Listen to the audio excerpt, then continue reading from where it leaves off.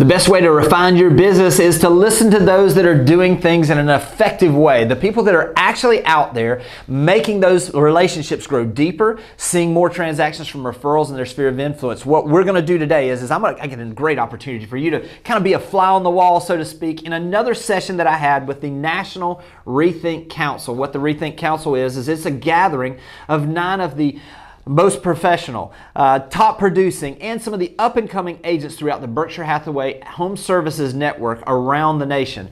We come together, really talk about some of these things. In this session specifically, we're going to talk about how you can generate more referrals with your client base. We're going to talk about some of the things that are happening social media wise. We're really going to take a deep dive on the things that this group of agents are doing to move their business forward. I know it's going to be helpful for you. Make sure you take some notes and let's get to it.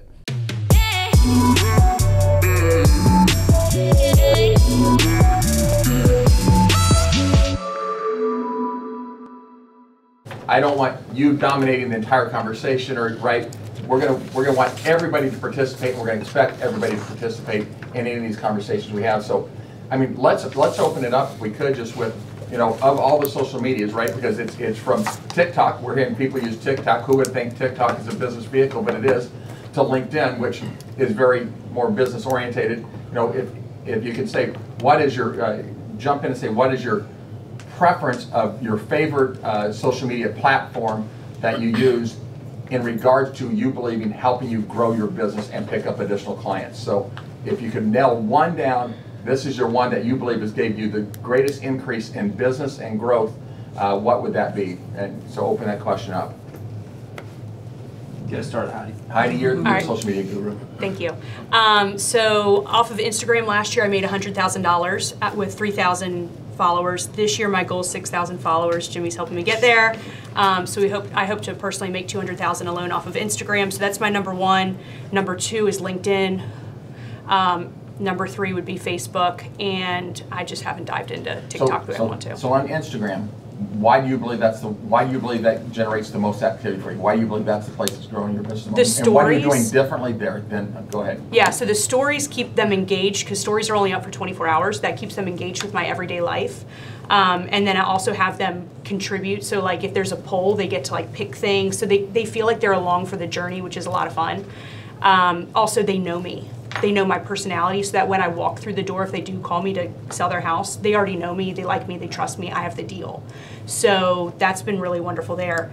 Um, but also, It's referrals also, though, right? I was just gonna get referrals from other realtors has been incredible. So right now, um, I, I'd have to ask my TC, but I bet we've got forty-five referrals off of Instagram alone this year that we're just waiting Increased to. exposure, but I love, the thing that I heard you say that I think you kind of skipped over, that I think is important, is you have polls, you have engagement, right? You get them engaged in that conversation. Yep. And I, and right, and we were talking about building relationships, the more engagement you have, the stronger relationship is over time. And sometimes I will do something just for realtors, and sometimes I'll do something just for Joe Public. So I try to bounce around a lot. I used to only be Joe Public, and I wasn't attracting realtors. And then I noticed that by attracting realtors, my pocketbook got much more affected. So that's been something I kind of changed about probably during COVID. Yeah. Have you done anything particular to add those agents in other places? Have you done any type of, you know, promotion or followed other people or anything in target markets? Yeah, so when I when I'm on Instagram, if there's anybody that has a good social media presence, I always try to tag them while I'm doing things because I want them to reshare me so that other realtors see other realtors and then they see me and they want to follow me there. Um, so that's been really big, but also like being at convention, being at explosion, being at your conference, like You the face to face has been huge.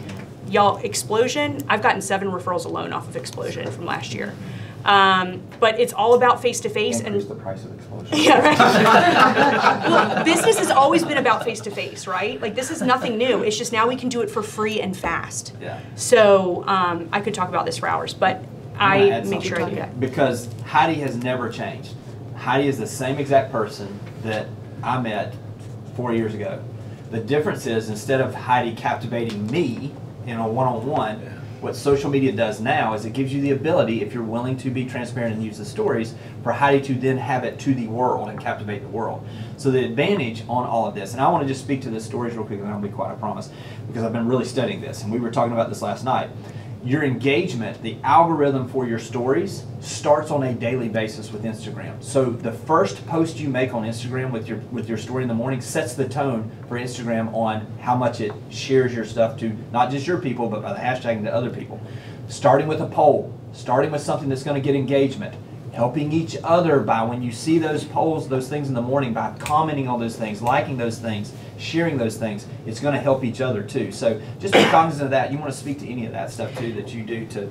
Well, also using captions. So if you ever see my stories, I like to do captions a lot so that if most people aren't using their volume, because most of them are at work while they're watching this, um, so making sure you have captions on there will keep people watching your stories. If I don't do it, I'll notice that like I'll get a big shot of people watching the first thing and then it kind of trickles out because they can't hear me, so they just go on to the next story. But using captions keeps them involved and then also keeps them um, commenting and whatever.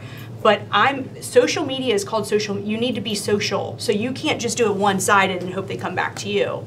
Um, so like Sierra and I have a constant, I mean almost daily talk on Instagram about like, hey, have you seen this? Have you seen that? Whatever. So do that. That will grow this loyalty because when people think about real estate, I said this at Jimmy's conference. When people think about real estate, most people know 12 realtors. I want them to think Heidi. I want the other 11 to just be like, fine realtors, but I'm the expert. So every day I'm trying to win their attention and their trust. Um, You want to speak to the mix of content too? Something you're doing as far as because you're doing the stories, but you're also doing reels. You're also doing those. What does that mix look like for you? I don't know. Hmm, I wing it. Fair answer. Yeah, I wing it. Uh, it really depends on how I'm feeling and what I've got going on that day. Do you have a pattern? Yeah, I have a printout I can share it, but Okay. Yeah, mine is totally like I'm a creative person. If I'm feeling creative, I'll hop on a reel. If I'm too busy, I But are at don't. least you systematic enough to say, I've got to do this so frequent? Yeah, so my You have- stories. You you may have a schedule more than a, a- a- like I'm gonna do a Like a reel versus a post content versus. calendar type of thing. I don't do a content calendar, but the um, Yeah. she does. She's much more organized than I am. Um, when you look at stories, there's a, I guess it's an orange circle around it when there's a new one that's up. My circle never closes. So a lot of you know my dad is like on death's door right now, and I was up visiting him on Sunday, and uh, my my circle was closed, and I was like, oh my gosh, so I went on what uh, keeping current matters, and I shared something just to have it out there because that is my rule. Like I always have to have something out there so that the engagement continues. Because to Jimmy's thing, like every morning, the algorithm matters. So I've got to make sure I'm feeding the engine. Do you have your Instagram synced up to like your Facebook and your? Yeah, I wish I didn't. I, I I'm wondering how that's working. When it automatically goes over, the algorithms don't like that because Yeah. you're not using that individual social media platform. Mm-hmm. She's saying like if I post on Instagram, does it automatically go on Facebook? That's a lazy person's way to do it. That's what I do. That's what I do. Yeah. I do Yeah, too. we all do. No, that's what I do. I think it does. That's what I do. And But no, do it, ta- do it, indivi- take it off and then do it differently and you'll see, you just copy and It paste. mess up the stories. They always get out of order on Facebook. Yeah, it messes that? up the stories. I know. And then sometimes, like I, It's a I meme. practiced two of the same posts, like one that I did that shared equally on, or at the same time from mm-hmm. Instagram, and then I did the same post again on Facebook alone, and I got more likes on just the same picture, same everything when I did it as a Facebook only rather than an Instagram Facebook. Like I've been testing this stuff out recently. It matters. So, so Molly, go. So what's, what's the one that you feel like helps you grow your business the most? It's helping you connect or, or get referrals? Um, it's actually I would say both Instagram and Facebook, and this is why. Um, Instagram, I'm getting um, like millennial buyers buying second homes, buy uh, uh, move up buyers a lot on Instagram. Facebook, I'm getting a ton of first time home buyers, which I know seems backwards, but it's because their parents follow me.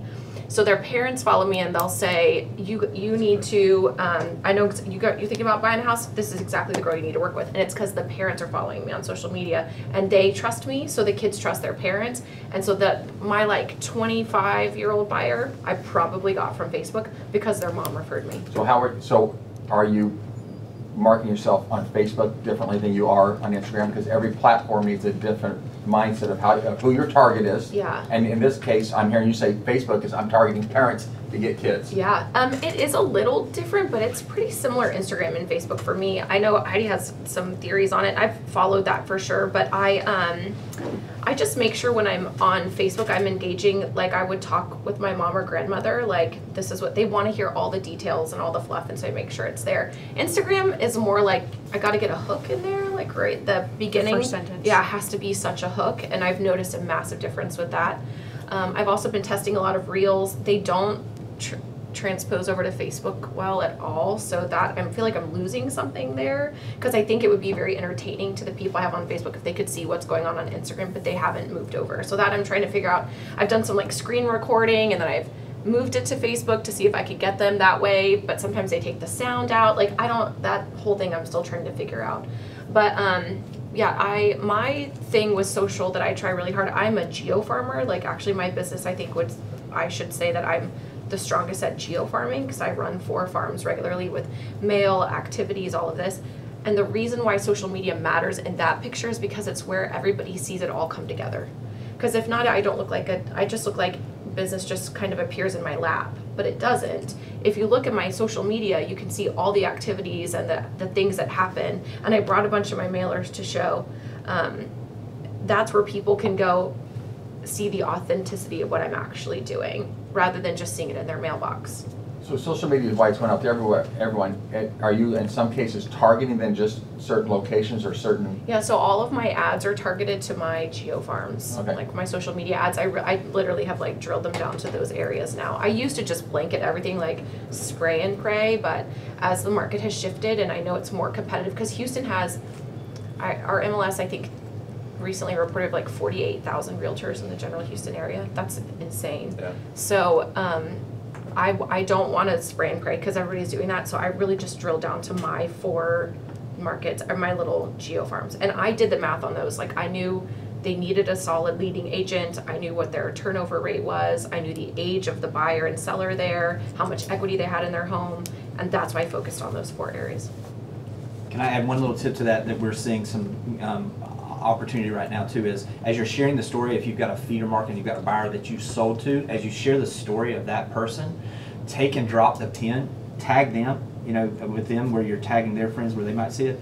Drop the pin instead of in your location or the area that you're noting Oh. to their location. Hmm. And then it circles 15 miles around and it specifically targets their followers, their connections in their market where they're moving from. And as we know, birds of a feather flock together. So that gives you that ability really to reach out into a new market as well. Andrew, you do. Um, Quick uh, question for. Molly. How often do you mail to your geo farm? Um, twice a month. If I like when I just started the new one, I, I sent something out every week for a month for two months, and then um, and then I it's twice a month. Other than that, And how big are those geo farms?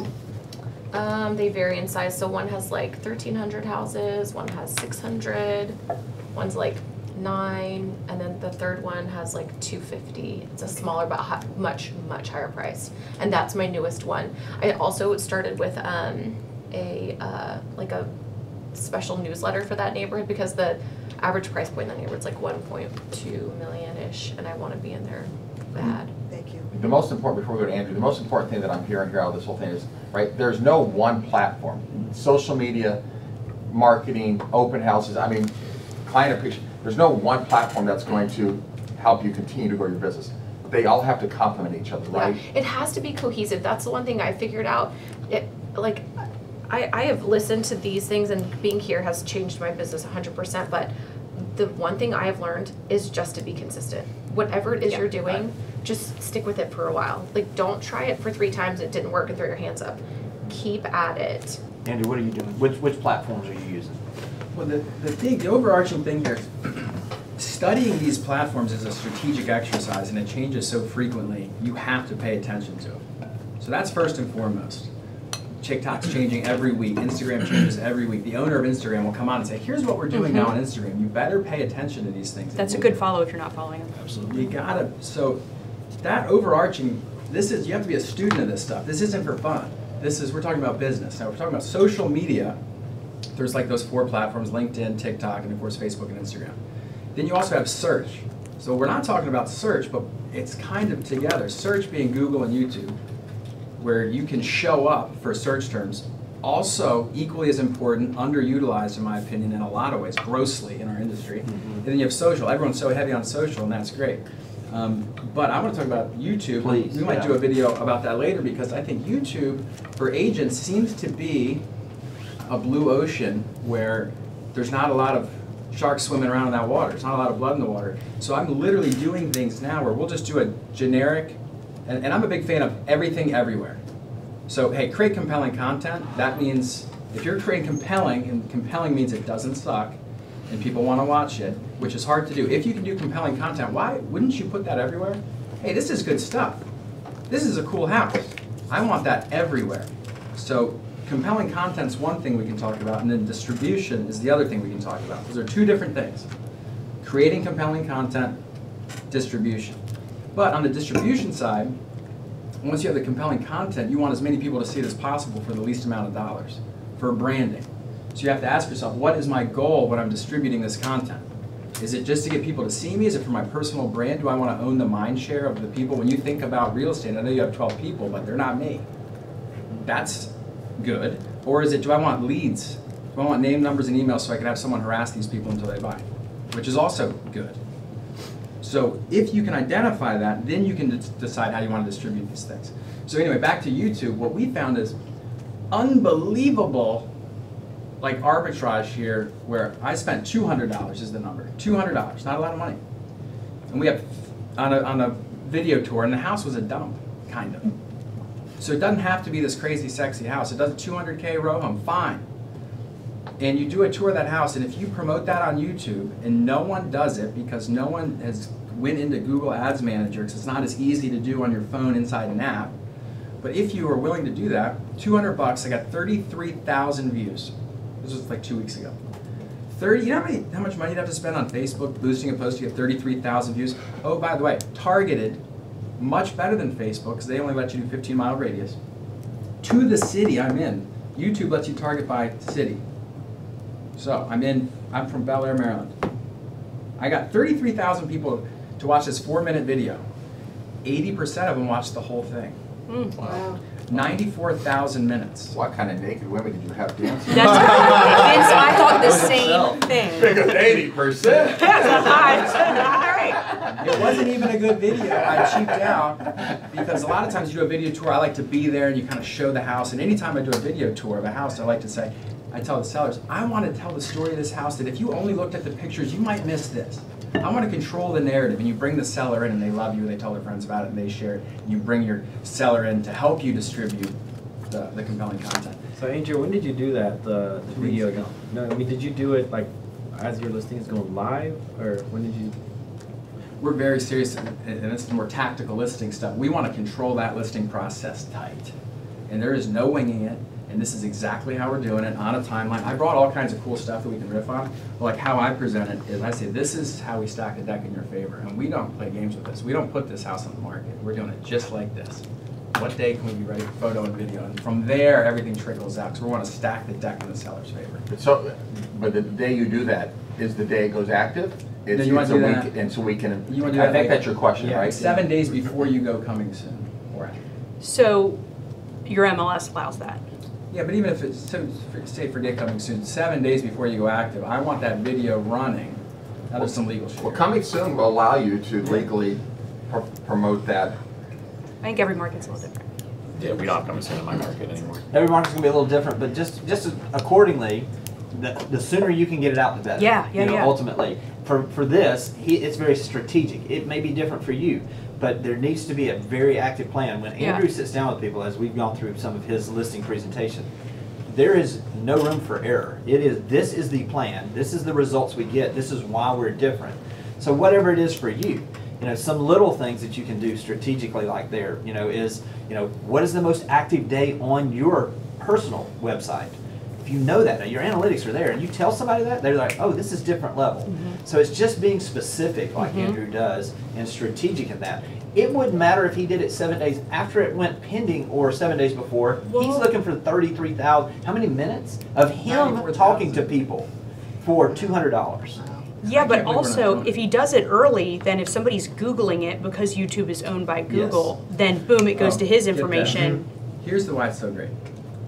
That, that's true too. Anyone who searches that address, if you type any address on the MLS, Zillow will come up first or Redfin will come up first, not when you're on YouTube. If I do the YouTube ad Yep. and it's me presenting a compelling video, I come up first. Yep. Interesting. I come up, which is, that's crazy enough.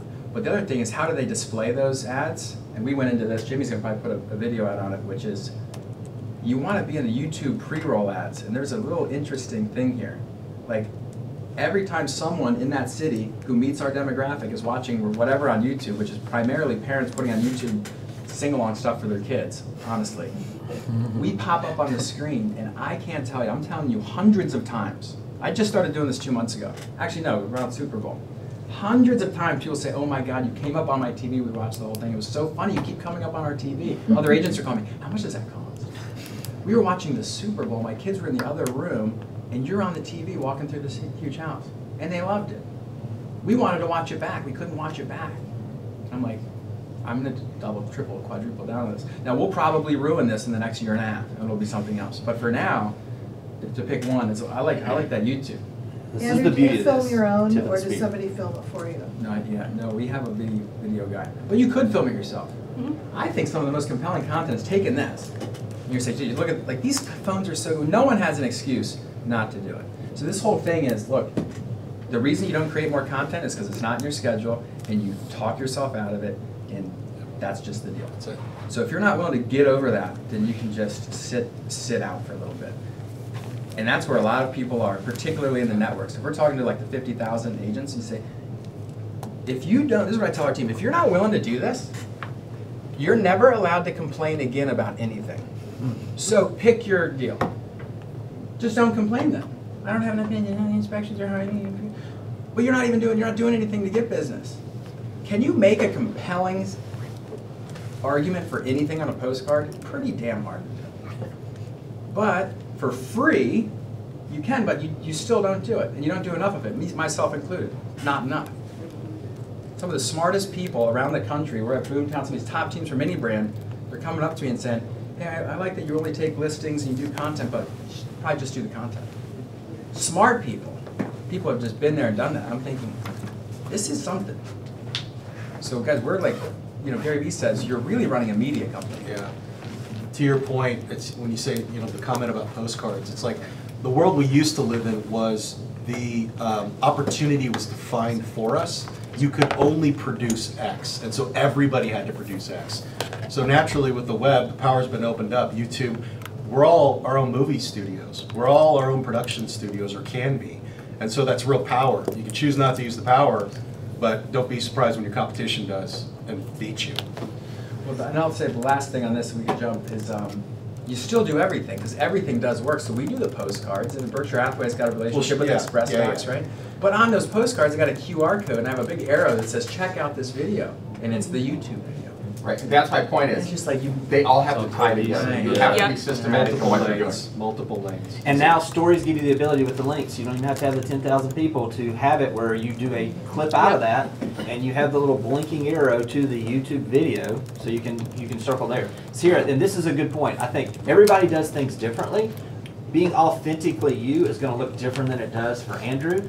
Um, Sierra, y'all have a lot of success with social media. You want to talk to how y'all do it? Um, we. On the the Ozarks.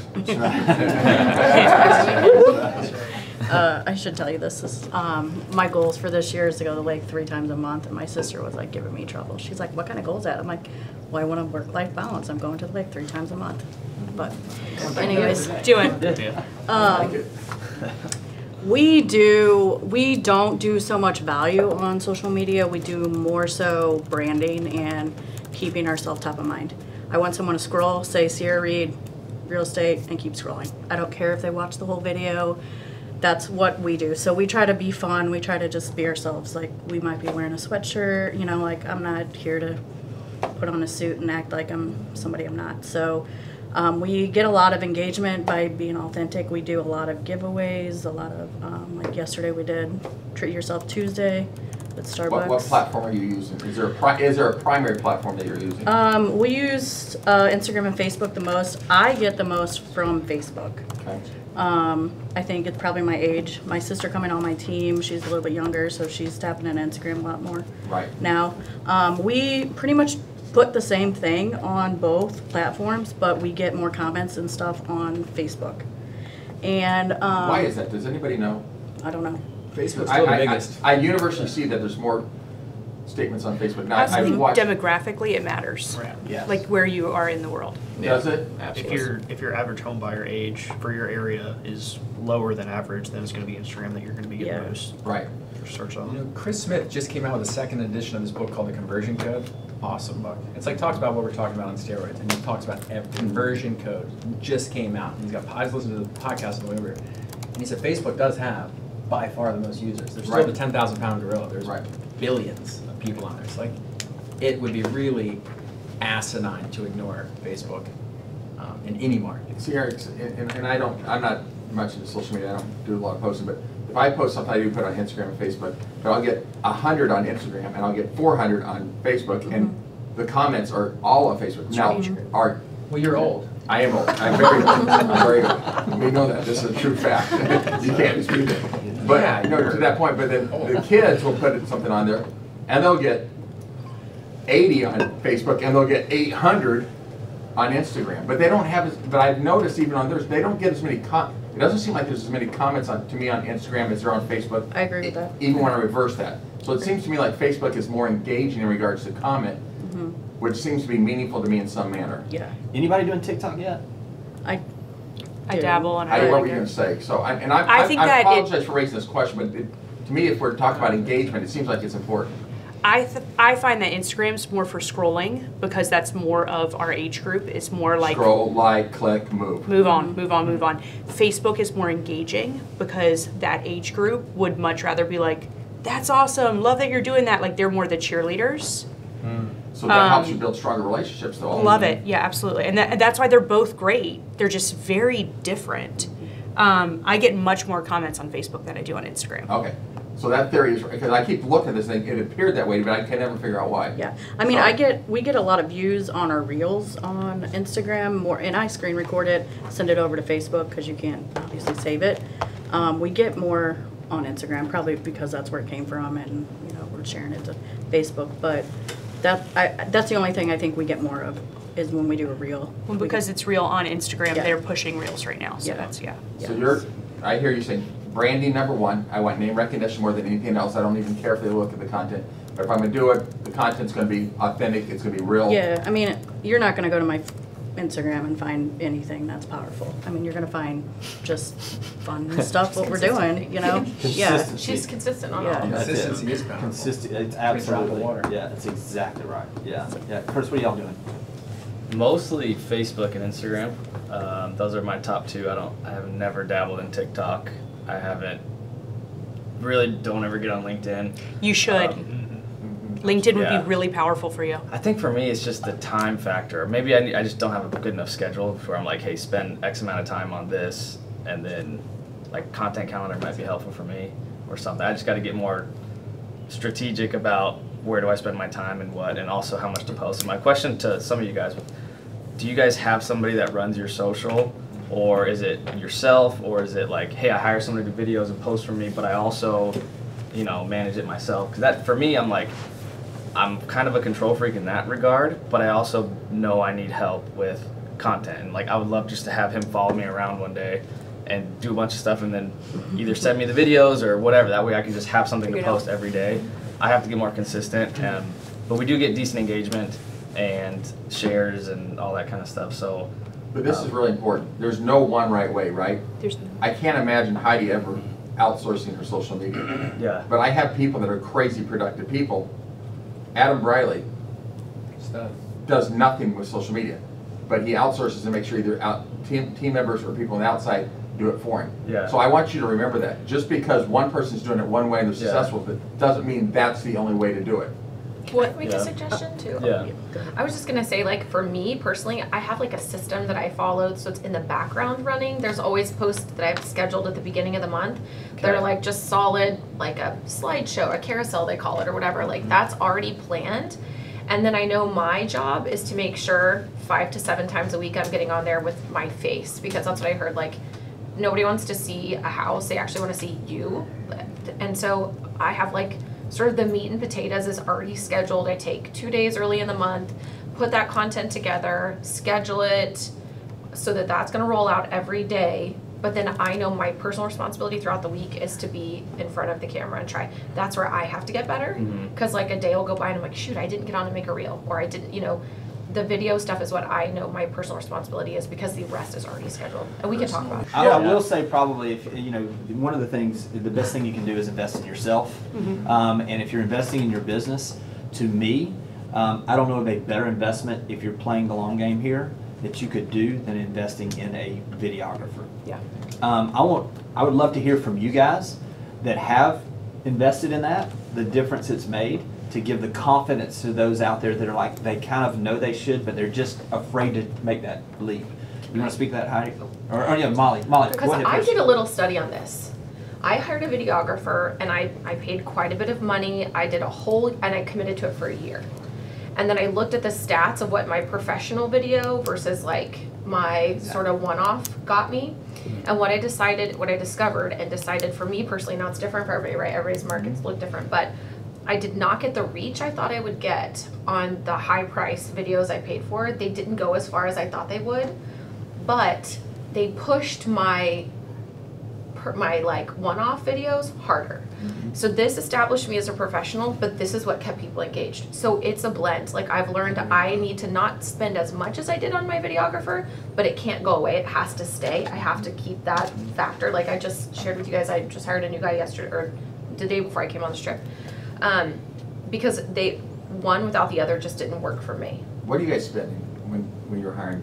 Um, I think that was, was like twelve hundred bucks for the day, and I would get like seven videos, four reels, something like that. It was fine. The content wasn't as good as I wanted it to be, but I realized again, that's what established me as a professional. But what made people like me were the videos I was personally making. You gotta have both. We're authentic. It doesn't have to be an all-in. You don't have to hire a full-time videographer like what you're talking about. You can do those things. Um, uh, interns, um, the person, the young person that does video for his local high school, even you know that does that. The person, you know, churches have videographers now. Any of these folks That's that are doing this part-time. It, it, it's a it's a great way to leg in on those things um, and just kind of see that. The other point, and and Andrew, I want to come to you because it doesn't matter if you have great content if you don't know how to distribute it. That's what, and and so you want to speak to that a little deeper because I think that's the most critical part.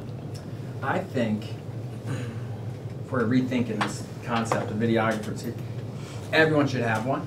Everyone should have one full-time on staff.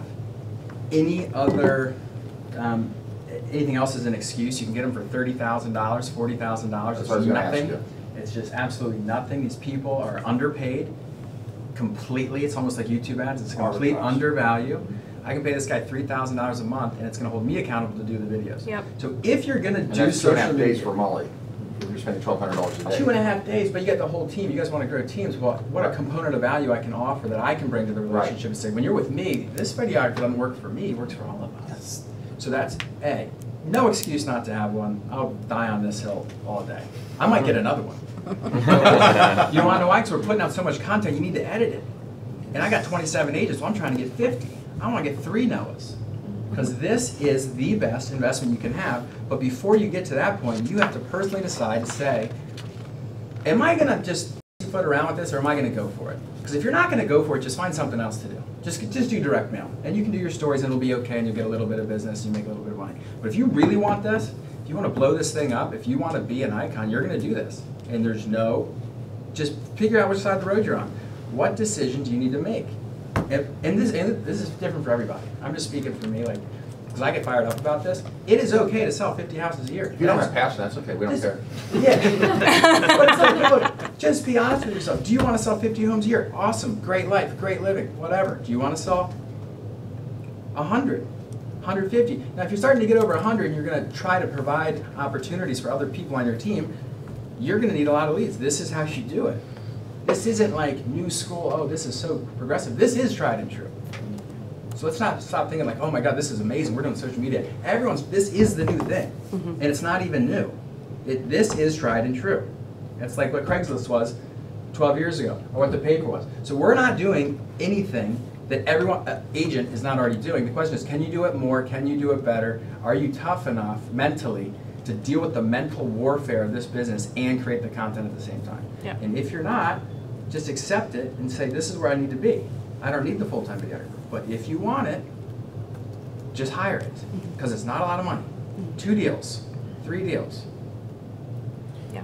Duncan, you're the only Gen Z, I think, on this group, right? Yeah. Anyone else Gen Z? So, and you're new, you're very new to the business. Right. How- How are you connecting, right? Because you're probably coming from social media from a different platform or a different perspective than others. So And, and most 23-year-olds are not buying houses, so you've got to be mindful of, okay, I can't just attract 23-year-olds because the average first-time homebuyer last time I saw was 31. I don't know what your market is, but probably not far off from that number. Right. So I use Instagram, I use Facebook, like all, all, all of us are. The biggest thing that's making a difference for me is LinkedIn. And it's, I don't know if it's because of the business background that I have or the social media marketing background that I had before I got into, the, into real estate when I was in college or what it is, but what I've been doing is I've been doing a lot more land deals and a lot more commercial transactions. Somehow found my way into that this year. I'm connecting with these developers, I'm connecting with these builders on LinkedIn, and I'm just sending them, hey, I saw you guys just bought so and so land out in Yulee or over in Middleburg or wherever it is in the Northeast Florida area. Are you guys looking for more more land to build on? Are you guys looking for more opportunities to convert, you know, this office space into a church or into whatever it is? And a lot of times, I don't post a lot on LinkedIn directly. A lot of my stuff is just messaging those people with the companies that I know they're either the decision maker or they're close to the decision maker And they're that they can move in responding. there.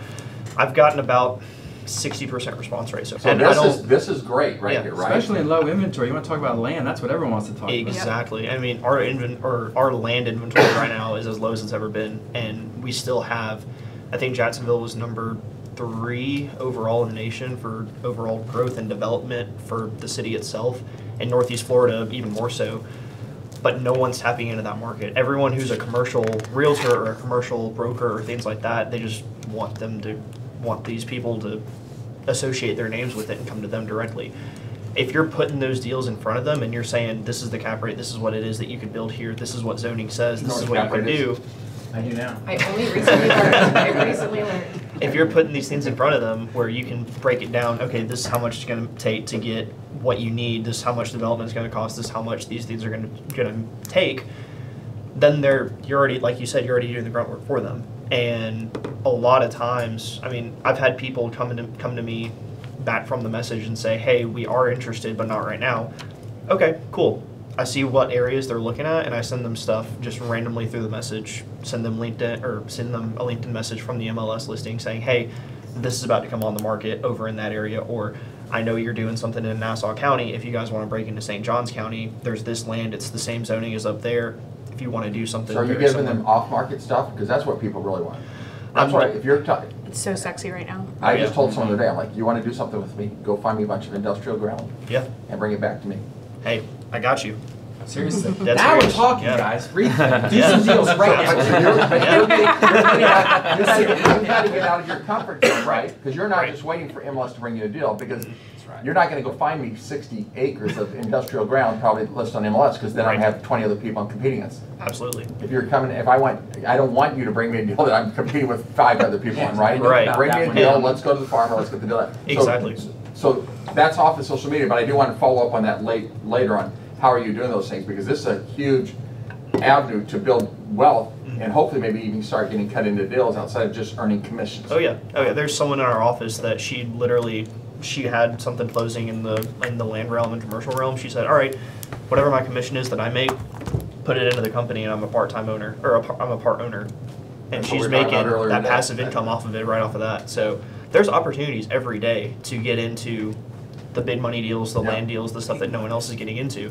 Because Search your hat. I mean, first time home buyer market over here is insanely saturated, as is the luxury market. And it's good to have those coming in, but you need to differentiate yourself and smart. See, put so yourself as nobody, the expert. I, I wouldn't have, I, I guess I don't say nobody. Who would have guessed twenty-three-year-old LinkedIn, t- no, LinkedIn was the social media vehicle he's most focused on that's helping him grow the I most? dig it. right? I'll bet you if you had 100 people in the room, not two people would raise their hand and say, oh, a 23 year old's using LinkedIn to grow their business faster than anything else. You got to think differently. Yeah, yeah. I can't wait to follow Duncan Foster and watch what you put out And I'm gonna challenge you, you should make more content around He's that. starting to. He's starting to. Hey, Stuff's every coming out day, you should day. just own that stuff Yeah. in Jacksonville. You can be the guy. Yeah. I You're smart, you got the look, you, you know what you're talking about. No, seriously, like every day. Industrial land. Every day. That's the future. Okay. Absolutely. Um, Vince wants to use you for himself. Lynn, dude, I wanna dude, if you'll sign a contract, I'll work with you. Love to die, love to Yeah, he has it in his Always folder. right. Bring him the working with real estate agents. My office is around the corner. Guys, again, I'm all about everyone participating. Gee, we've not heard from you. Talk to me. Um, so something I haven't heard actually, as I use mainly Instagram and I get a lot of engagement through there, but on Facebook, um, so I live in a subdivision and every subdivision has a Facebook group. Okay, so I get onto the Facebook group of the subdivision and I try to provide as much value as I can. For, I'll go into the tax records and I'll find out how many homes there are. You know, how many, and uh, HomeSnap does a good job of telling you, um, you know, how long this person has stayed there. They have these filters you can put in that says likely to list, most likely to list, based on the number of years that they have lived in the house. It even tells you what their mortgage, um, what the interest rate is. If you collect all that data, you can actually see who is most motivated to sell. And then, you know, at the, um, we have, in our subdivision, we have a clubhouse, we have a pool. So um, I haven't done this yet, but, you know, just life happened, everything got engaged and whatnot. So um, I'm gonna like order some food trucks or something. You know, our pool is gonna open here in the next week, and I'm gonna get like an ice cream truck and just invite everybody and just have a little tent. I'm not gonna push myself, but you know, I'm there if you need me. Um, I own two or three rental properties. Again, they're both in subdivisions as well, and I'm gonna send out some mailers through there just so they know who I am. Um, our firm actually, every time we have a listing, uh, they send out uh, within a mile radius. Uh, they send out postcards. You know, it's a little bit different now because you know, as it's instant, it goes under contract. We used to say for sale, active, but now we do just listed or just sold. Uh, number above, you know, um, list price that you do. And I've gotten a little bit of engagement through there as well. But when you live in that neighborhood, you should own that subdivision. There's no reason not to. You will have other realtors who are, you know, who live in that subdivision, but who cares? You're doing something that they're not. Next door app. Uh, I tried next door. I Everyone's just. So, yeah. I know that's- that. But why- but why you rather have a presence and know what they're saying than not? Because I see a lot of Yeah. deals, Mine are positive.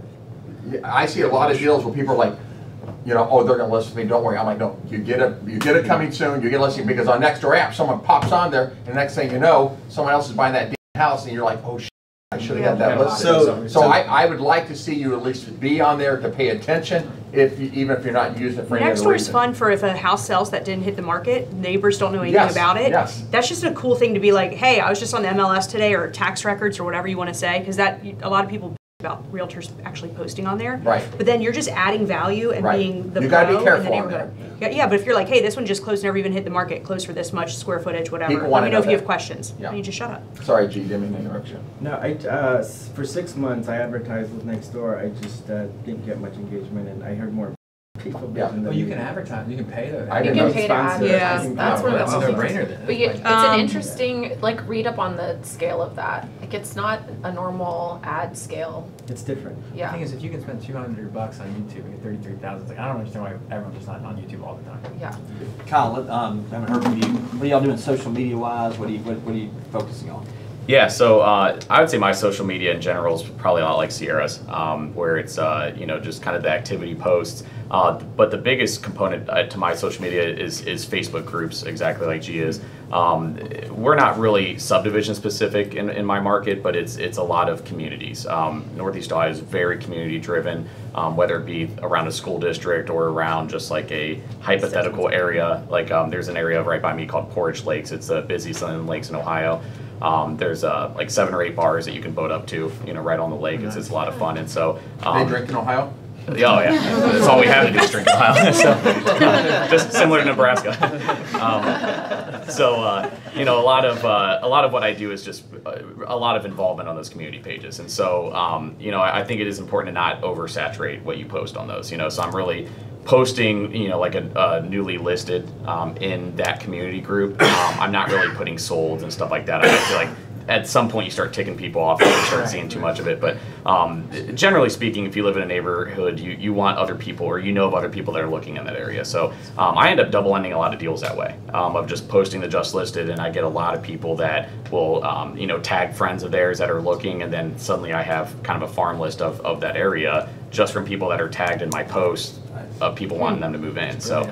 Um, so I get a lot of that stuff, and then uh, to be honest, like on, on some of the more fun areas, like the the Portage Lakes area, um, I do a lot of bar crawls. Like so, I'll sponsor. You know, so instead of just being that guy that posts just you know like stuff that clearly is business related, I'll go. I'll organize a bar crawl around Portage Lakes, and I'll just say, hey, you know, let's you know, I get all it's all seven bars on board. They you know give me tickets, and they obviously like the exposure too. You know, they usually have some sort of like shot glass or something for them when we get there, and um, and and that it, I try to make it look like I'm not on those community pages just to simply push my brand. So um, I have a lot of success with those. Do you film it when you do the bar crawls? Any- Um, yeah, uh, not like professionally. Yeah, I mean that's something that uh, just from this conversation, I think I'm definitely going to do is the, is the professional videography of, of that. Um, but it's uh, it's really just I, I try to just brand myself as a community expert. I was a high school track coach for ten years, and so I have a lot a large sphere from that, um, and just really just making sure that it looks like I'm kind of giving. Uh, it's known that I'm giving back as well as just posting out there, and, and I think that's really worked for me. That's what I do. Let me ask you a question. When they're doing fun events, is it better to have a professional there, or is it better just to have someone there just kind of I'd of the both. moment, huh? Both. Both. Both? I like I like the idea of the hashtag because when you can get a bunch Yeah. of people to say, "Hey guys, if you didn't mind, hashtag Right. Oberlin Real And that's Estate," another whatever." thing that I think that, you know, and I probably won't even make it that specific, you know, maybe just some event that can eventually tie back to a page or something. Yeah. Um, I have two things to add. One, when I have a buyer and like um, I'm in that subdivision page, I will I won't say just sold or anything. I'll just be like, "Welcome your new neighbor." It's obviously branded to me, but I'm just giving a face to the name. Super smart. That's a So, good way of posting. Um, Yeah. Also, we do at the beginning of the school year, ad- we have a Facebook group, um, Adopt a Teacher. We have all the teachers do an Amazon wish list. They post it in there. We just moderate it. So like, you know, thank you for posting your link or like, and then people get on there. They obviously they know me in my community as a real estate agent, so I don't need to be in the group like promoting me as real estate. I just need to be in the group showing my face, quote unquote, on social media. So that's a huge one that helps us in August. Yeah, I did Schools have that, their own and pages. it's been You great. No, adopt it's a literally teacher. says adopt a teacher, Lincoln County. So like start the group, Oh, add you all the start the teachers. group. Yes, Mm-hmm. add all the teachers and then the community members. The teachers will post their Amazon wish lists and then the community will buy their stuff for them. It's great. And it's mailed directly What? to the teacher through. Great idea. It's a great idea. You Yeah. pay chain too, right? Yeah, it's Huh? been You great. pay chain too, like. a- Yeah, yeah, yeah. And I mean, yeah, I get so like like, Twenty bucks. if some of my clients post their wish list, obviously I'm like, got it, you know. Yeah, I you bought don't need that. Right. So it's just a, it's just a way to keep your name top of mind. That's really good. All right, so we, to wrap this one up, you, you want to add something? Then we're going to. Well, nobody answered Curtis's question about outsourcing social media, so I just want to go back to that. Yeah, please. I got 20 questions I never even got to here, but. Yeah, we're- Well, the best advice I ever got, Vince gave it to me like four years ago, and he was like, "Know your price per hour."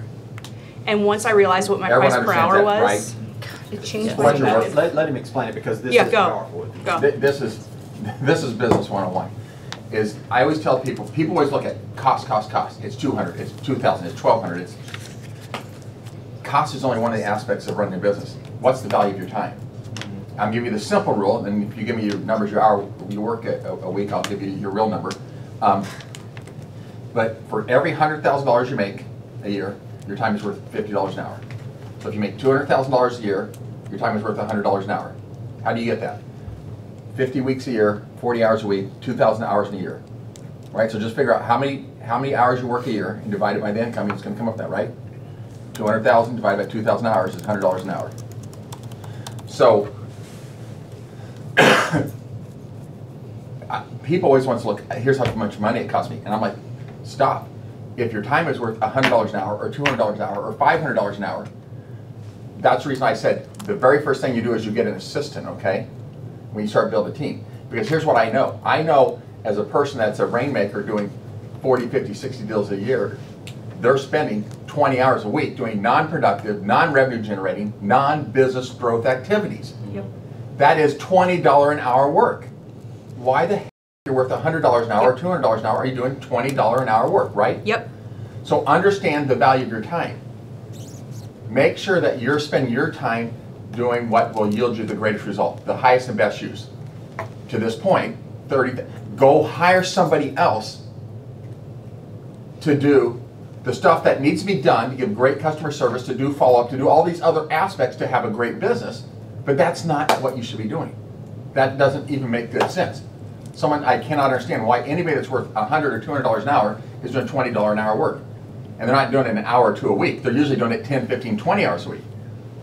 You're, you're not only screwing your business, but you're, you're taking your, your personal life. There's no mm-hmm. work-life balance. You're, you're capping yourself. Megan Owens was stuck at 70, 80 deals per year until she finally went and hired somebody, a full-time assistant. Now she hammers out 140, 150,000 dollars a year, making a million dollars a year in Omaha, Nebraska. And it was that one simple thing. She understood. I had to stop. She didn't understand until I forced her to do it, but she understands now.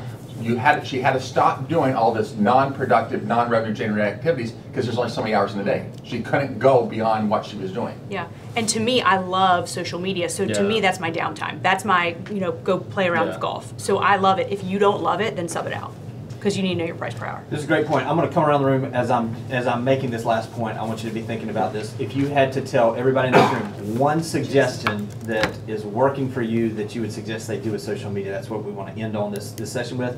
I'll give you a perfect example of what Vince is saying. Noah's here videoing for us. He's been video, video videoing for us. He started his business because he was out in Omaha. You heard this story before. Um, he's been in the business six months. He's got um, over $10 million pending and closed as a 21 year old. He is one of the best videographers you will see, but guess what happens when he takes a listing? He hires someone else to do his videos. Because he already understands that his time, even though he loves it, and there's a certain portion of it he wants to do, he understands the value of his time is to be on the phone with those sellers and those buyers. You just got to get to a point where you get to a comfortable, even if you love it, you have to have some help that you can stay focused on those things. Duncan, let's start with you. We'll just kind of go around. One thing you would say, if somebody's listening to this or somebody in the room, that you would suggest that you're doing that is 30 seconds. 30 seconds. be serious and be intentional about posting and being on LinkedIn and being on as many of the platforms as you can because if you don't have the consistency across platforms and it all work in cohesion, you might as well not be doing it. Awesome. Hmm. Heidi. Off market is the sexiest thing that's happening right now. If you're not promoting off market and your ability to get it, then you're losing money. Great. Molly. Make video consistently. Right, G. Be an expert in your neighborhood especially. I'd say hire a videographer, not just to shoot the video, but to study the platforms and how they're changing all the time so you can be ahead of the curve. Curtis. I think engagement's huge. Engage with both. You know, people will comment, comment back, and find your other followers and just engage. Um, I think be the community expert, not just real estate expert, but community. Go to the new coffee shops, post about them, all that stuff. I'd say be consistent with whatever you are doing, and just and stick with it and and let it play out. Guys, if we left right now, you got something. Mm-hmm. This has been great. Appreciate all the transparency. I know we got more to get to. There's going to be more of this coming, though, in the next, next day and a half. Thanks for watching the video. I specifically chose the video below for you because it builds on the one you just watched. I hope it's helpful, and I'll talk to you soon.